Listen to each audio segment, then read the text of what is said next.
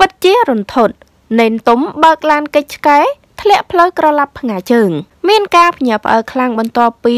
តារាចម្រៀងលោកណេនទុំបានបង្ហាញអំពីវីដេអូរថយន្តរបស់លោកបានក្រឡាប់ធ្លាក់ពីលើផ្លូវឃើញហើយពិតជារន្ធត់ដោយមហាជនពិតជាបារម្ភមែនទែនអំពីសុវត្ថិភាពរបស់លោក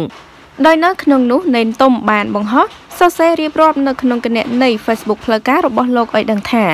អស់ពីបុកក្របីបុកគោ អស់ពីកិច្ចគោកិច្ចឆ្កែដើម្បីជីវិតសត្វឆ្កែមួយសុកចិត្តចូលពេទ្យខ្លួនឯងទាំងរហេមរហាមជីវិតខ្ញុំអើយជិះលបឿន60សោះក៏ជួបគ្រោះថ្នាក់ដែរចាឃើញហើយរន្ធត់ខ្លាំងមែនទែននេះគឺជារថយន្តរបស់លោកណេនទុំ ដែលគាត់បានកិច្ចឆ្កែហើយក៏ធ្លាក់ផ្លូវក្រឡាប់តែម្ដង